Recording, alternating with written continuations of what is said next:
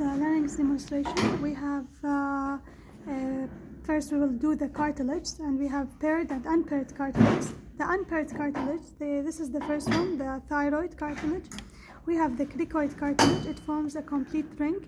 It is the only complete uh, cartilage here. It forms a complete circle. And we have the epiglottis.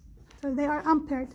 Now for the paired cartilage, we have two uh, arytenoid cartilage, two corniculate, and two cuneiforms, and they are not cuneiforms are not shown here. 33 is the corniculate. Uh, now by doing firstly the thyroid cartilage, uh, some uh, prominent feature we can see here is number 15. It is the uh, laryngeal prominence, which is uh, prominent in men because of the angle of it will be uh, less in men, so it's more prominent. And here, this is very important. This is the oblique line of the thyroid cartilage. Many there's the structures that related to this. We will mention later. Uh, also, for the thyroid, here is you can see uh, the, the attachment. This is called the inferior horn of the uh, thyroid cartilage, the inferior horn and basically it is here that where it's attached to the cricoid cartilage so it's called the articular surface of the thyroid cartilage um, we mentioned the cricoid it is one complete and the epiglottis uh, now for the cricoid we have uh, this is the arch of the cricoid anteriorly okay if you go posteriorly you will see the lamina of the cricoid you can appreciate how it is more larger than the the lamina is larger than the arch of the cricoid. Now, now we want to uh, see, uh, before we go into this, we will mention for the bone here. Here we have the hyoid bone. This is the hyoid bone. This is the lesser horn of the hyoid bone. Here are lesser horn and greater horn of the hyoid bone. Okay. Now we will mention the membranes that we can here appreciate it and uh, easily to be traced. Now, firstly, we have this is the cricoid, this is the thyroid. So we have the cricothyroid membrane, and it is thickened anteriorly here. It formed the median cricothyroid ligament. Okay, more laterally, it is uh, it will be thin. It is like real membrane here, not a ligament, and in its upper margin, free upper margin, here it will form the vocal ligament, vocal ligament or the vocal uh, cord here this. And this called the conus elasticus. So you can say this is the conus elasticus. Okay okay. So we have another membrane which is this is thyroid uh, cartilage. This is the hyoid so we have thyrohyoid membrane. Not shown in this model. Uh, we it is more clear in this model.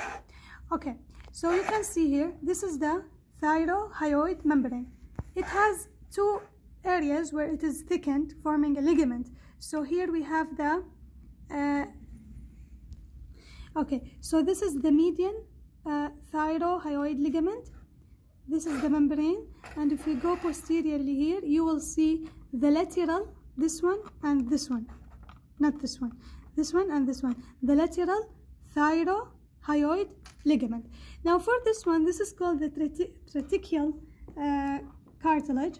And here's also look here I'm going literally uh, posteriorly. So this is the 21 tracheal cartilage. Okay?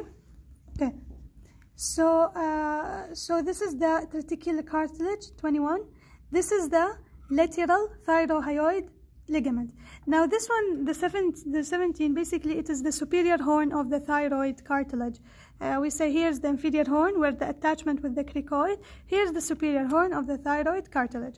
Returning back to this model. Now, there's something very important here in this model. This opening. What pass in this opening?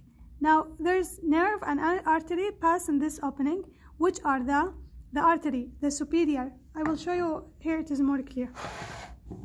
Look here.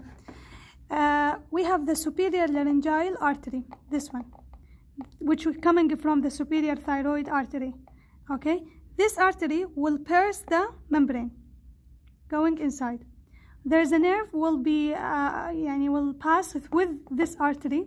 And this nerve is basically the internal laryngeal nerve which is a branch of the superior laryngeal nerve which is a branch of the vagus nerve. Okay? So these two structure will be here in this uh, opening. In the thyrohyoid membrane. Uh, okay there are two ligaments here. They are not shown in this model but just to mention it between the hyoid and the epiglottis which called the hyoepiglottic ligament you can see it in the slides. Uh, and we have the thyroepiglottic ligament. Now here going inferiorly we have uh, between the this is the cricoid cartilage okay? And this is the trachea the tracheal rings صح so we have between the cricoid cartilage and the first tracheal ring this membrane or this uh, crico criciotracheal ligament here. Cricotracheal ligament. So between the cricoid and the first uh, uh, tracheal ring okay? And this is 53 first tracheal ring and we have these are the uh, annular ligament. I think the annular ligament is the ligament between the tracheal rings annular ligament. Okay and lastly if we go posteriorly we will see here this uh, written in the catalog as a membranous wall of the trachea. Okay